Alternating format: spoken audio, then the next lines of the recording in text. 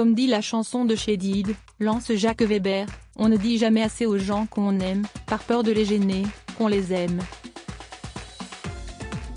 Le comédien dévoile les coulisses de ses 50 ans de carrière et esquisse le tableau d'une époque et d'une génération. Extrait.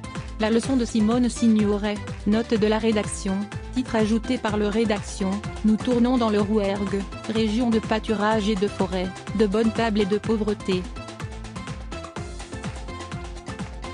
Lorsque Simone Signoret ne tourne pas, elle nous écoute et nous regarde, attendant un partenaire pour le Scrabble. Simone est sans doute la seule femme de France à qui l'armée a prêté un téléphone de campagne pour pouvoir parler à son amoureux tous les jours.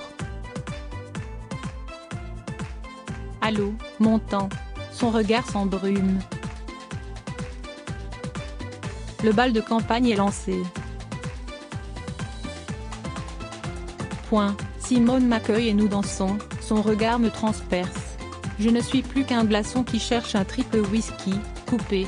C'était très bien, nous la refaisons. Simone m'observe, je baisse la tête. Dis donc, n'oublie pas que tu joues un boucher, ce n'est pas Louis Jourdan. La sentence est tombée comme du billot la tête d'un condamné. Louis Jourdan, vedette internationale, était voué au rôle de Bellâtre Frenchy dans les productions hollywoodiennes. Signoret me blesse mais vise juste. Point. La numéro permanent d'Yves Montand c'est une grande amoureuse pleine de terreur enfantine. Catherine, sa fille, et son mari Maurice sont nos amis. Ils nous invitent le soir du jour de l'an à Auteuil, résidence mythique du couple Signoret-Montand. Ma femme et moi sommes touchés mais intimidés. La maison est longue, belle et blanche. Dans la nuit hivernale se devine un vaste parc, une terrasse, une piscine, tout semble ordonné, quiétude et simplicité. Nous entrons par la cuisine, une longue table est dressée, Simone brode devant une bière sans alcool. Je compte les couverts, nous serons les seuls invités. Quelques mots s'échangent, réservés d'un côté, traqueurs de l'autre. Montant fait son entrée, sans le malaise et tout naturellement fait le rigolo. Simone veut parler de son livre La nostalgie n'est plus ce qu'elle était, montant de son retour imminent sur scène.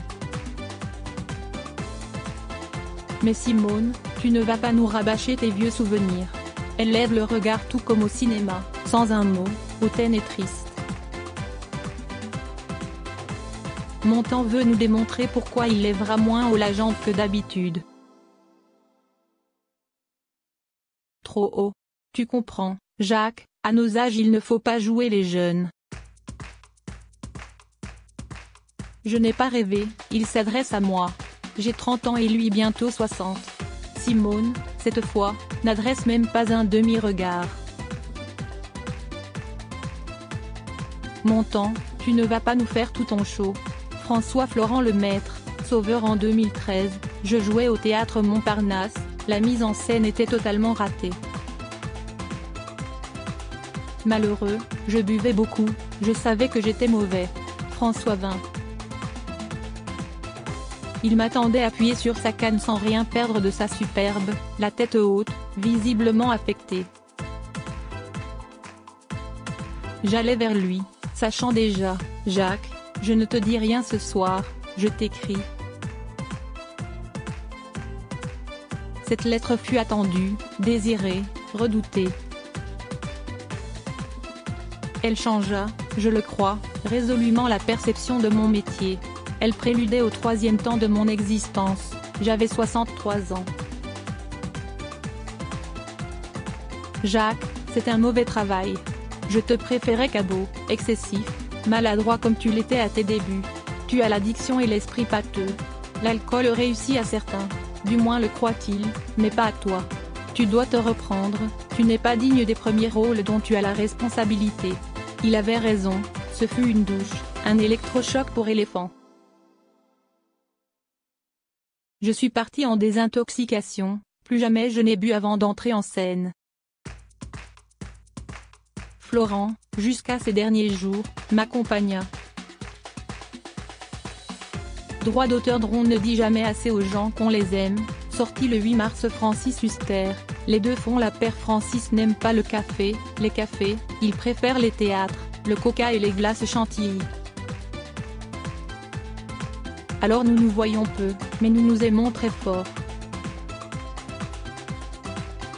Point, il joue, pérore, écrit, met en scène, déménage à tout va, ses projets changent plus vite que le caméléon, un cerveau mille pattes qui ne dort ni ne dîne, chronique savamment le sport, la politique, distribue des conseils sur la vie, l'art, tutti quanti et confetti, conchit des spectacles qu'il ne voit pas, a toujours raison, mais il a ses raisons que la raison n'a pas si gentil, si généreux, si cruel, si mesquin.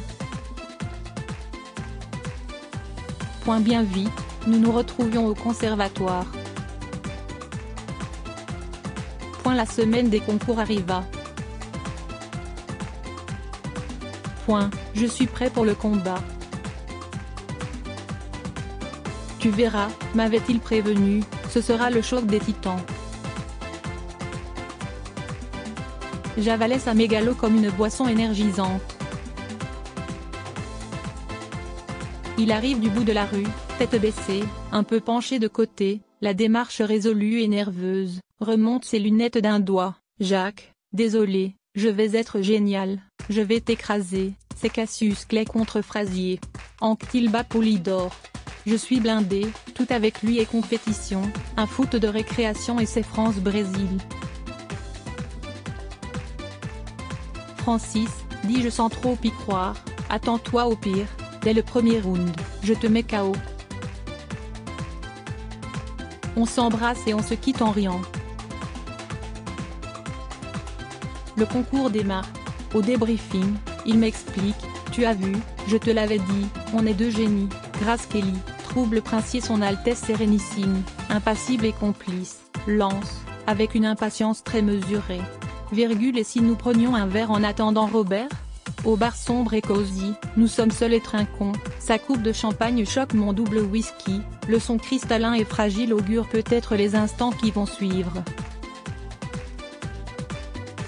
Dans ma tête, je me récite mon enfance, me revois pauvre chez les riches du lycée Pasteur, pantois devant les messes de couronnement commentées par Léon Citronneux. Je respire son parfum, sa main me frôle, son regard me caresse, elle est ma reine, je suis son Ruy Blas. Dans ce bar à midi où mon sort se dévoile. Je suis le ver de terre amoureux d'une étoile.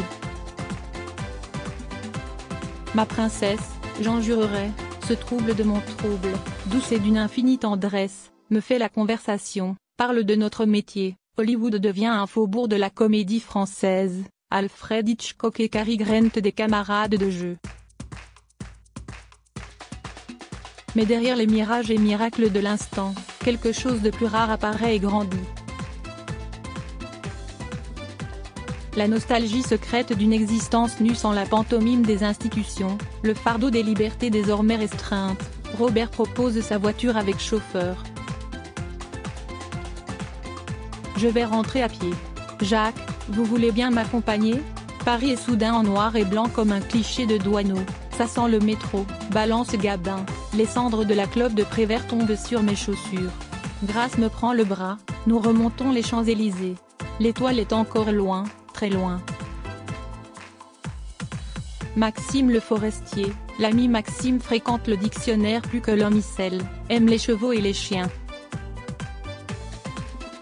Il parle peu, écoute beaucoup, en connaisseur ses mots sont choisis, ses phrases brèves ne flottent pas, un silence précède et conclut.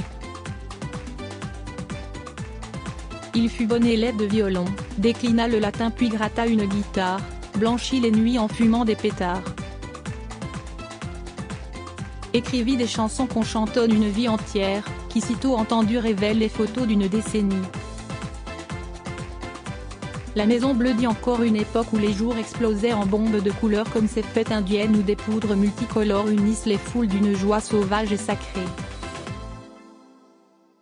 Emmanuel Berco et l'adieu à un frère le premier jour de tournage, je suis triste et inquiet. Mon frère, je viens de l'apprendre, vit ces derniers jours. Le plateau ne me fait plus peur, au contraire, il devient le lieu paisible de mon existence loin de cette vraie saloperie de cancer, comme me l'a dit Bernard. Emmanuel est venu me saluer, je redoute les pleurnicheries, je respire, me calme et balance tout. Emmanuel se tait, me regarde, fort, très fort. Elle comprenait que les mots trop souvent creusent le sillon des larmes sur les joues, je ne pouvais rien contre le cancer de mon frère mais j'aurais pu et dû lui dire que je l'aimais. Point. Emmanuel demande le moteur l'air de rien, combien ai-je aimé cet air de rien où tout est accueilli à bras ouverts. L'air de rien qui fait escorte à la majesté d'un moment. La scène se passait chez un psy, le regard de Frédéric Pierrot si tendre, semblait m'encourager à briser la dernière digue, à naufrager le texte pourtant si bien pensé. Un sanglot m'envahit, mon corps tressauta.